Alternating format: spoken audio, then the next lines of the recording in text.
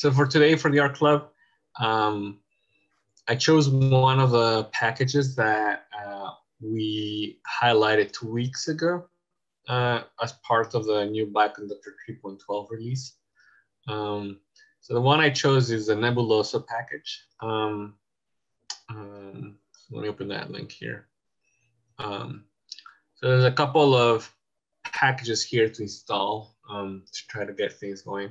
Um, um, and um, looking at the vignette, I realized that the vignette for Nebulosa highlights actually several of the main steps for um, processing single cell or single nucleus data uh, with the bioconductor packages.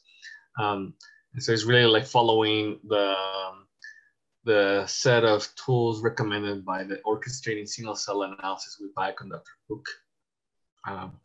So um, I thought that's like uh, a very quick but still good intro to uh, to these packages, and so we'll um, we'll start to get familiarized with them, with the names and the functions um, of the packages uh, for those steps.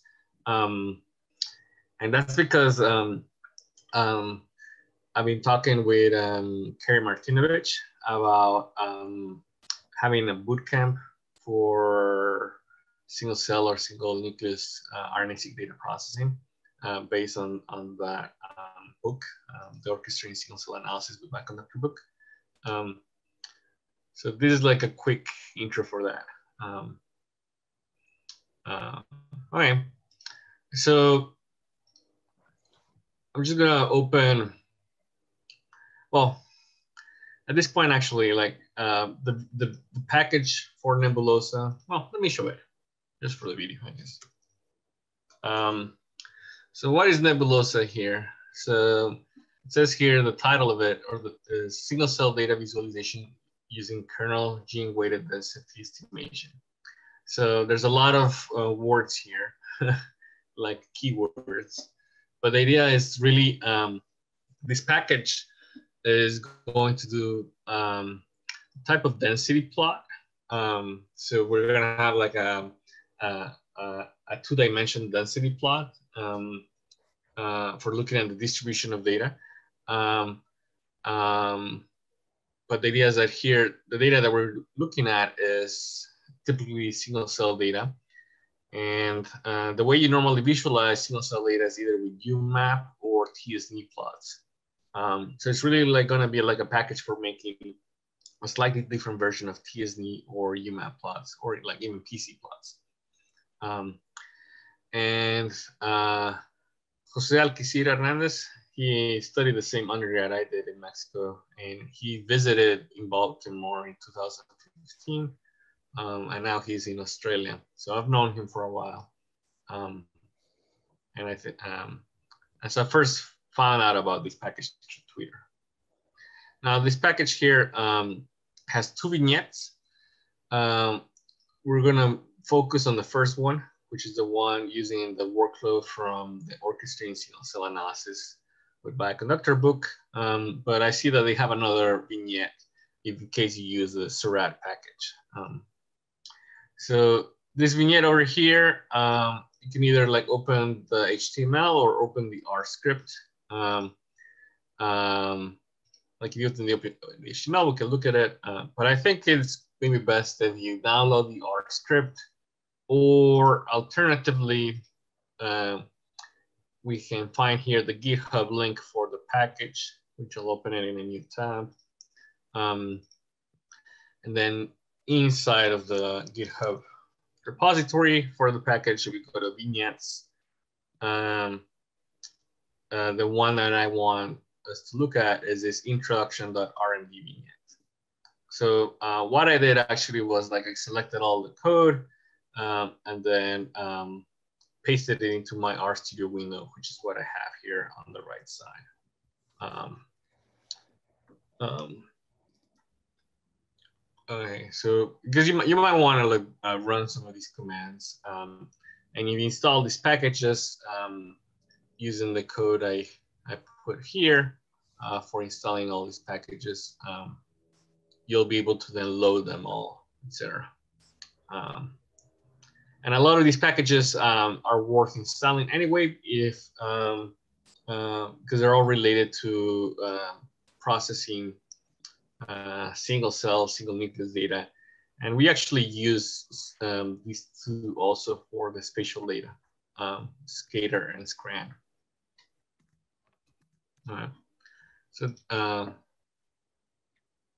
so I, I, put here the link directly to that RMD file, um, but you could also maybe just, if you don't want the, the, the text explaining the R commands, you could also just um, access directly the, the R script for the code. Um, so I actually like downloaded, like downloaded it and rendered the vignette on my computer um, prior to this, uh, just to make sure that everything would run. Um, um, so let's look a little bit at what this is doing. Oh, yeah. Um, so we before we get to the nebulosa part, mm, let me see if I can zoom in. Before we can get to the nebulosa section, uh, we're gonna learn a little bit about data processing uh, for 10x genomics single uh, cell or single nucleus data. Uh, so here we're gonna use a public data set. um, uh, and we're gonna use a very small one. So this data set is stored uh, on S3 um, and is this PBMC3K data set, um, which is one of the example data sets that like 10x Genomics has on the website. Um, and so if we use uh, BioC file cache, that package, that's going to allow us to um, um, to download the data once in our computers. And in the future, we have to download the data again. R will detect that, like, oh, you already have the data. You don't need to download it. Let's just reuse the data you have. So I want to run that code myself on the right side. Um, let me make this smaller. Um, uh, okay. Uh, maybe this is too big. Mm -hmm.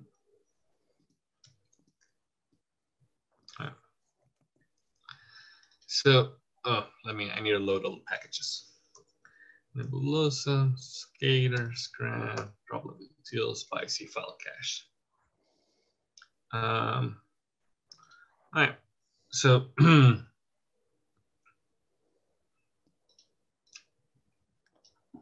me actually load, um, just run these BiocFileCache with the default arguments. So what this does is that it sets up um, an R object where, um, depending on your computer, is going to download the data to um, to a location uh, controlled by this BiocFileCache package. Um, so once we have our like BiocFileCache pack, um, BiocFileCache set up in our computer, we can then say like, okay, we want to download this specific URL. Um, um, so if I look here, data file, what it looks, it, it, points to is like a specific location in my computer where BiocFileCache downloaded that file, PMC3 filter gene matrices. It added here an ID for it, so it controls where it is.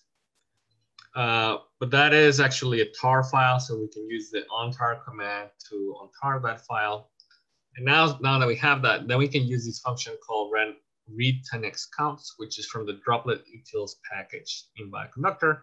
Um, and so this package allows us to reading um, uh, the count files from, from um, uh, that particular data set. Um, let's look at PMB, PBMC, our object. And so what it actually even does it, it, it provides back a single cell experiment object, um, which is similar to the ones that we've used for summarize experiment. Um, single cell experiment is a package that extends the, the summarize experiment class. Um, so it has a lot of things that we're familiar with already, but it has new things, uh, including like this um, alternative experiment names and reduced dim names that right now our object doesn't have any. Um, and that's because some of those, uh, particularly the reduced dim names, those are uh, things we'll generate right now through the data processing. Um, so something here is that uh, uh, we need unique uh, gene names. So there's a function here, here called uh, uniqueify feature names. Um, and so here this, this function is gonna make a unique um, row names for our data based on either the, the gene ID and the symbol information. So if we look at um, row data of PBMC, uh, here we have the Ensembl gene ID under the ID column and the gene symbol under, I mean, the symbol column. The row names here are the, are the um, Ensembl gene IDs right now. But if I run this uh, five names, um, let's look at it again. Um, so now we made it such that it's going to use the, the symbol as the name, but um, as you might know, uh, there's several genes that have the same symbol, but different gene IDs. So some of them will be like longer IDs. Um, anyway, this is just for making everything unique. Um, but also maybe um, uh, nicer for the plots because maybe maybe it's going to use that information on the plots. Um, so we just have our data now in R. Um, so let's start doing some of the quality control steps. So here, um, something that you, you, might want to do when you're working with um, single cell data is you might just want to look at genes that have enough um, um, measurements across your data set. So let's look at what are the dimensions of our data set, PBMC. So here we have uh, 32,000 genes across 20, 2,700 uh, cells right now. Um, um, and one very low filter here is like, okay, let's just check if they're expressed in at least three out of our 2,700 samples. So that is um, uh, that is a 0.11% of the samples. Um, so we'll use this row sums function applied to the counts. Um, and so we'll say like, okay, does, does it have at least, uh, you know, does it have an expression greater than four? Let's look at that. And this table is expressed. Um, so actually only 13,000 out of um,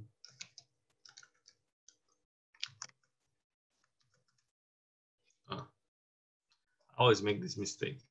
I have a dot when it doesn't have a dot. Uh, so 13,000 out of the 32,000 genes um, are actually expressed in three or more cells. Um, and so this will happen a lot with a single cell or single nucleus data because it's a very sparse type of data. There's a lot of zeros. So once we do that, we can just filter the rows um, using the, the single bracket um, syntax. And so let's look at the dimensions of PBMC. Uh, and now we have 13,000 genes across 20, uh, 2,700 cells. So uh, that is typically like, you know, we do something similar when we're working with bulk RNA-seq. We're filtering the rows. Now we're filtering the genes uh, based on like some uh, expression filter. But uh, when we're working with single cell data or single nucleus data, there's also um, um, steps for um, identifying cells that are low of low quality. Um, um, and so we're gonna run some of those functions here and they, they're implemented in the scater package. So, uh, oh, sorry, I skipped something too. Um, so we can use, use functions from the scater package to, to compute these quality cell metrics. but even before that, we could also just um, drop um, cells that have a very low unique number, a very low number of UMIs. UMI stands for unique molecular identifier. Um, and so if, if we don't have at least, let's say 200 uh, transcripts expressed in that cell, 200 unique transcripts, we might not actually care about that So, Um, and so here we're gonna do like a, a, a, similar filter for now we're like computing the column sums um, across all the genes. Um, the very first filter, like just removing genes is like the faster one um, um, um, to compute. Let's now do the column sums. And so let's check how many are expressed. Um, so actually here, all of them um, um, have at least 200 genes um, expressed. Um, so this filter is not really doing anything um, in this particular case, but we started working with a filter data set to begin with. Um, if you see here, the name of the of the file says filter gene. So we're already, this has already been like in a sense like quality control. Uh, but that would be one of the steps we would do on a real like single cell nucleus uh, analysis. The next thing is like um, um, for the function here, per cell QC metrics, which is stands for per cell quality control metrics. We need to know which are the genes that are mitochondrial genes. Um, and so uh, you can look at uh, uh, we could look at the specific genes and then see which of them are in the chromosome uh, MT. However, this particular object that we have doesn't have that information. Uh, so we could always like um, work with um, an annotation database and find like the gene coordinates for all the genes. Or in this particular scenario, uh, and you'll see this also on the, on the orchestrated single cell analysis with conductor book, um, we're, they're going to rely on just filtering by the name of the gene. So uh, genes that start with MT and a dash are mitochondrial genes um, most of the time, although I like to double check that. Um, so let's look at the row names PMBC, where we have that pattern.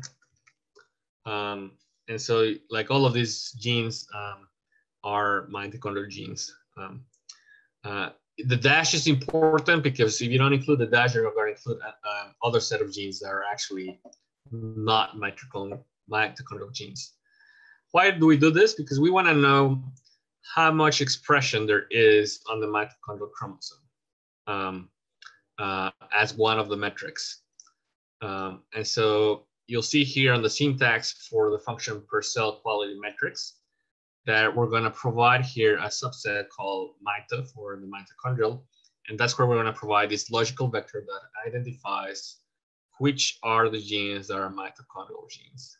Um, so let me run that. Um, uh, this was pretty fast right now because it's we're working with a small data set, but with like bigger data sets, it can take a couple like between 30 seconds and maybe two minutes, something like that. Um, um, depending how big your data set is. Um, so that will compute some metrics for us.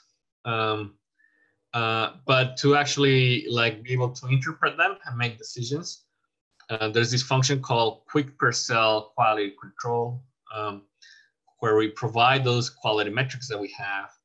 And what this function will do is that it's going to try to find find identifier. Uh, sorry, it's going to try to find outlier cells uh, based on information that we want to filter here. So we could, for example, find out, uh, outlier cells based on the mitochondrial percent.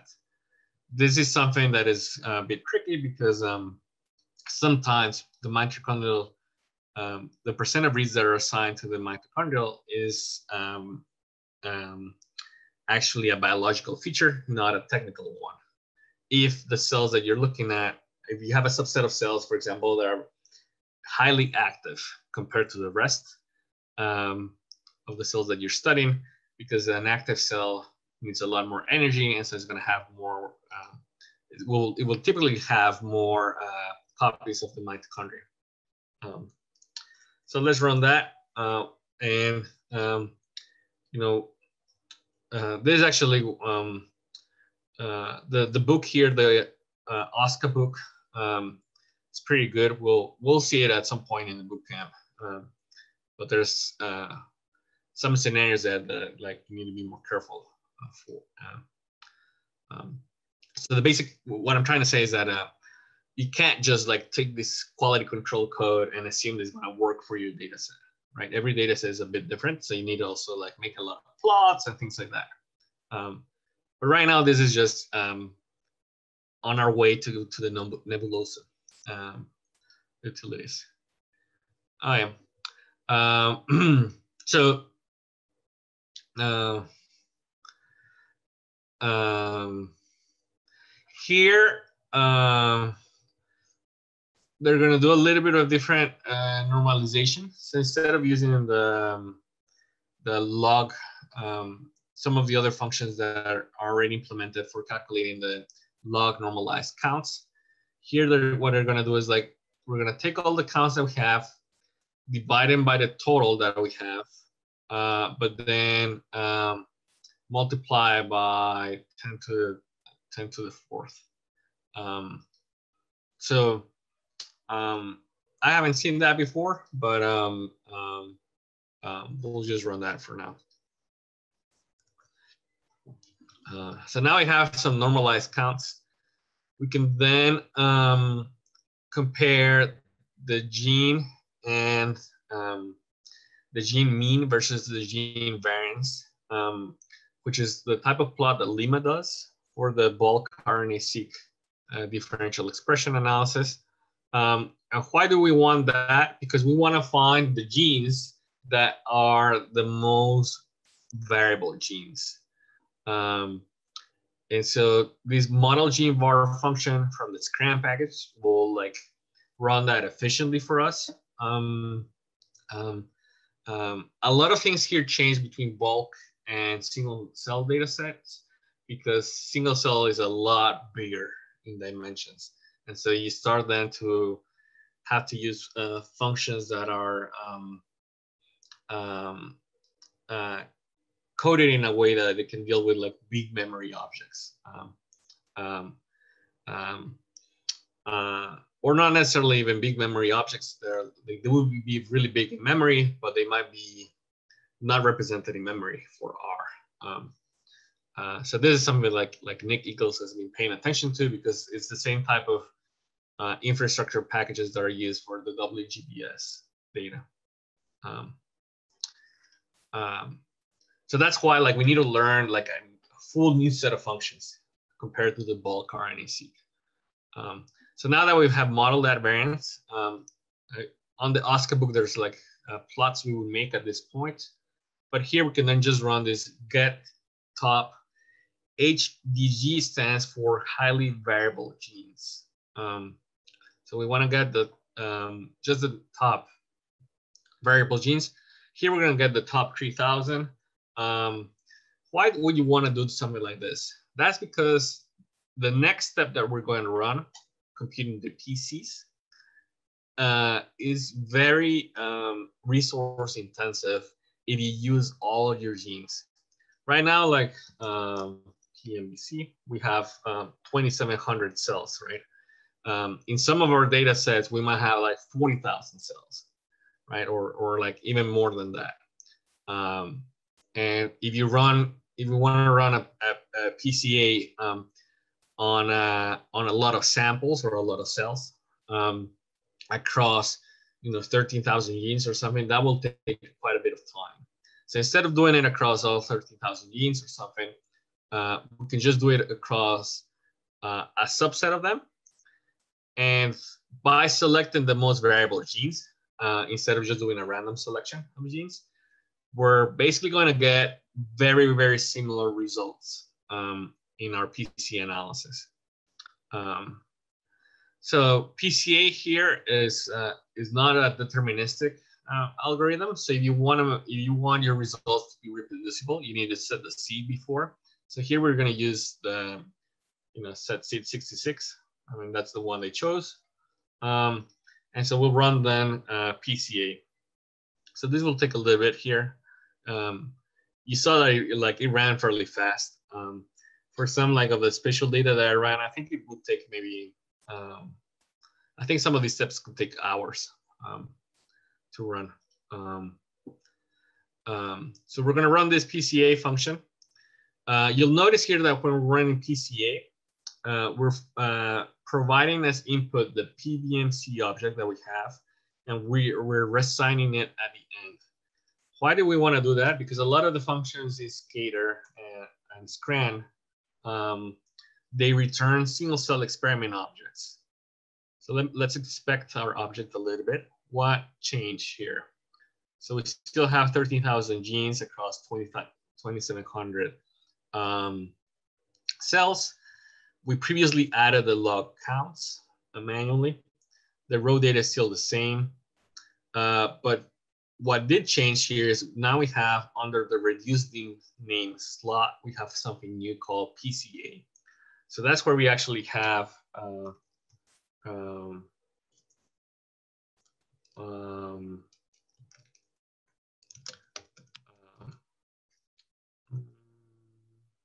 PB, uh, I made a type of PBMC. Uh, so under that slot, well, I should have printed all of it. Uh, what we have now here is a matrix with one row per the top 3000 genes. Sorry, um, is it a, um, let me make sure I'm not saying something wrong. Um, sorry, one row per each of the 2700 cells. Um, and we have 50 PCs right now. That's a default for run PCA. Um, for larger data sets and stuff, you might actually want to include more PCs. Uh, so unlike bulk RNA-seq, with a single cell, we want to include as many, um, a lot more PCs to explore um, small effects. And that's because you might have like let's say out of our 2,700 cells, we might just have 10 cells that are a unique cell type. Um, and so we still want to be able to find those later on. Um, once we have a, a computed uh, PCs, we can then run UMAP or TSNE. Um, and so here, when we when we run the uh, UMAP, we have to say like, okay, what are the PCs that we want to use for? So that's where we're using the name PCA.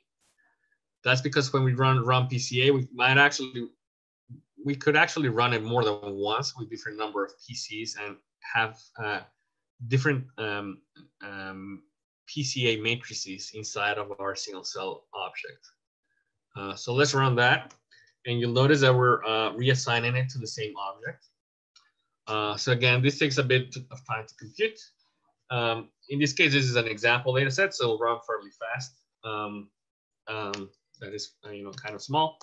Um, and if I print the object again, we'll notice on the reduced dim names that we have now something new called UMAP. So I can look at um, the dimensions of UMAP. Um, and now here we have a small matrix with 2,700 rows, one per each of our cells. And now we only have two columns. And that's because by default with UMAP, we're reducing uh, all our data to just um, two dimensions. Why do we want only two dimensions? Because we want to be able to visualize it type of thing. Um, um, and that's, you know, we're, we're nearly at the point where we can use Nebulosa. Uh, at this point though, we haven't done any clustering. So we're gonna use this function build SNN graph from, um, from Scran what is what is SNN stand, standing for? That stands for shared nearest neighbors. Uh, so we need to first here build a graph. You'll notice that there's a K parameter that's set to 10. That is the number of neighbors that we want to look at. So here we're gonna like build this graph based on looking at one cell and 10 of its neighbors at a time.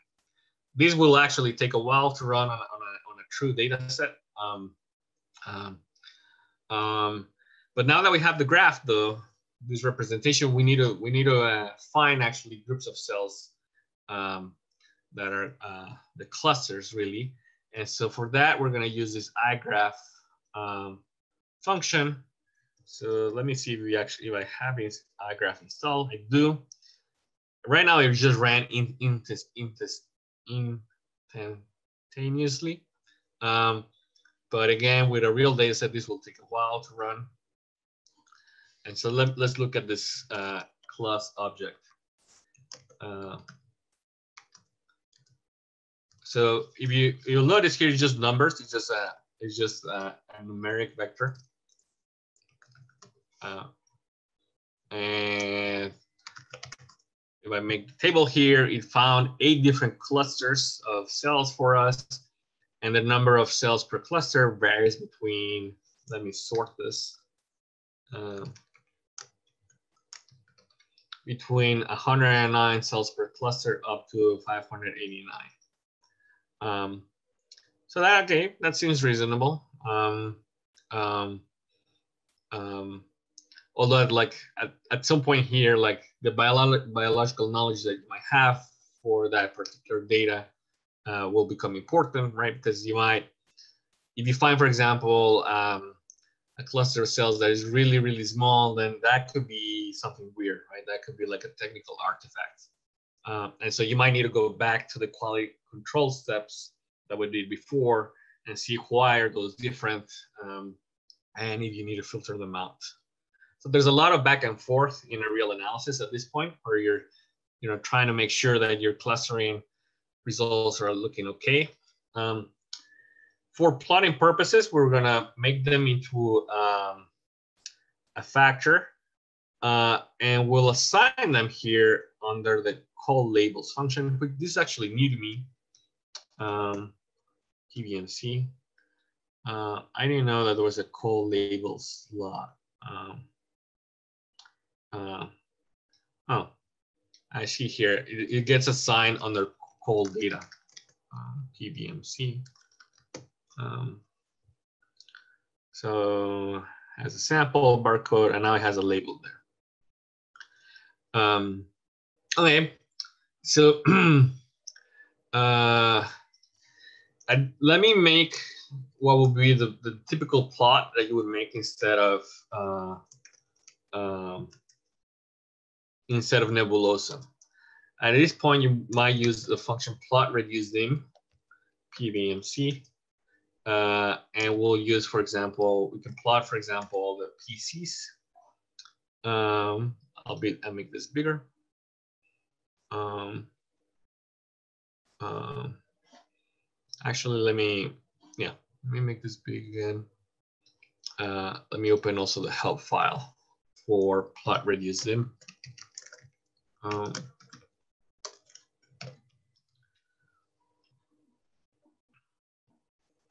so here, plot reduce dim has a lot of things. Let me go to one of the examples uh, because you want to find like, okay, the syntax color by uh, eh, color by equals, and we can give it a name of a variable in the colData for object. And I just saw that the name was here label. Uh, so let me do that again. Um, and uh, zoom in into this plot, make it big. And so here we have PC1 versus PC2. By default, we're like um, some default colors for the clusters.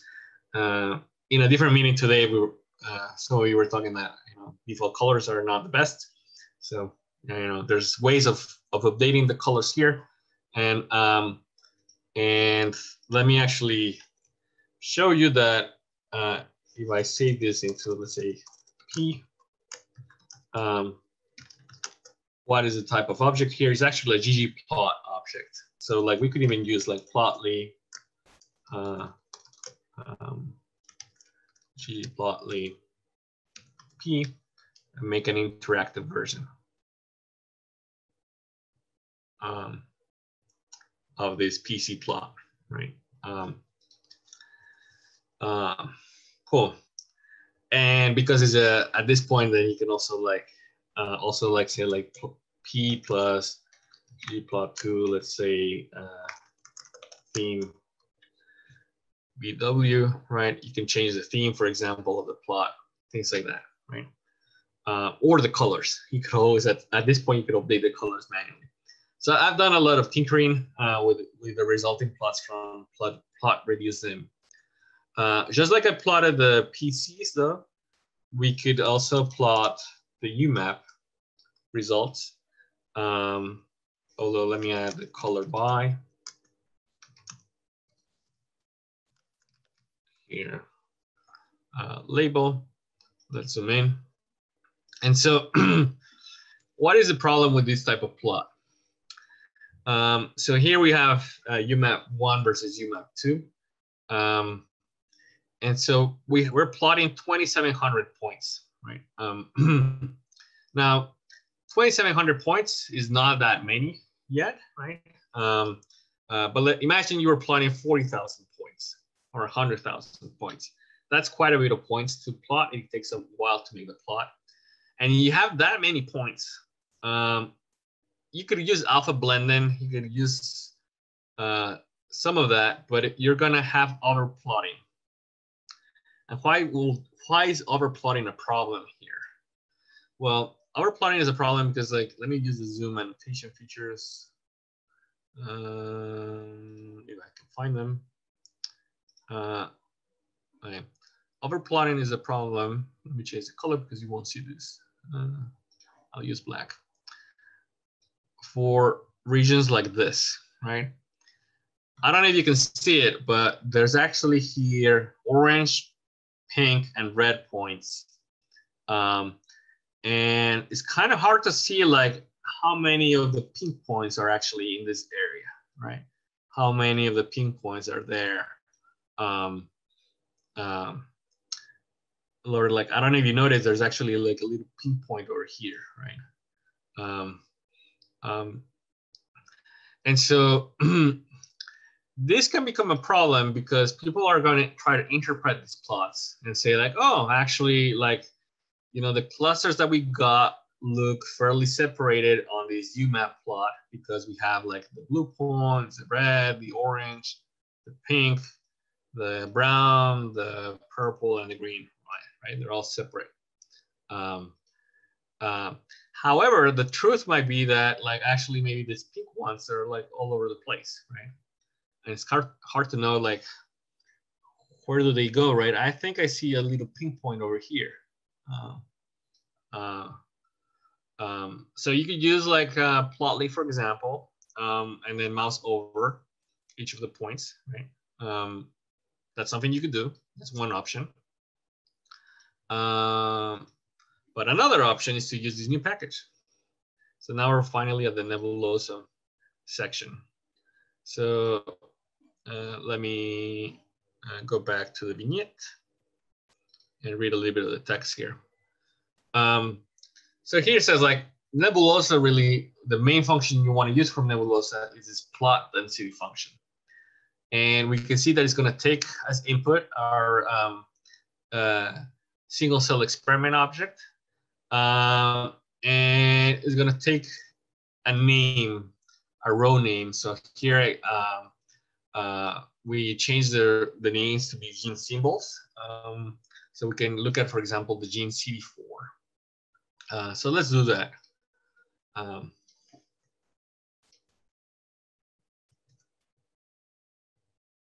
um, actually, let me try to, um, before I do that, let's try to color the, uh, let's do the default uh, um, let me do color by CD4 here with plot reduce dim. Oh, yeah. Just so we can compare uh, to what Nebulosa is going to do for us. Um,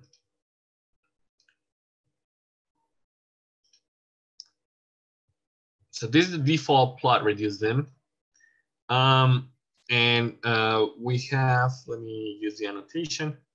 We have, we're using the Viridis color scale, which is colorblind friendly that goes from um, uh, dark blue to bright yellow. Um, and you'll notice here that, uh, well, I, I mean, I see some bright points uh, on this cloud of points over there. I see some bright uh, points over here, but they're like definitely overplotted, right? And this is even harder than the, than, the, than visualizing the cell clusters um, uh, because it's hard to like see, you know, much of the data. And so let's now use this plot uh, uh, underscore density function from um, from Nebulosa. Um, I got a couple warnings. Let's look at it again. Um, so a couple of things changed now. Let me annotate. The first thing to notice is the is the legend change. Instead of being counts or log counts, now we have a density. We're still using the Viridis color scale that goes from dark uh, blue being low to bright yellow being high. Um, um, but um, but it's no longer counts.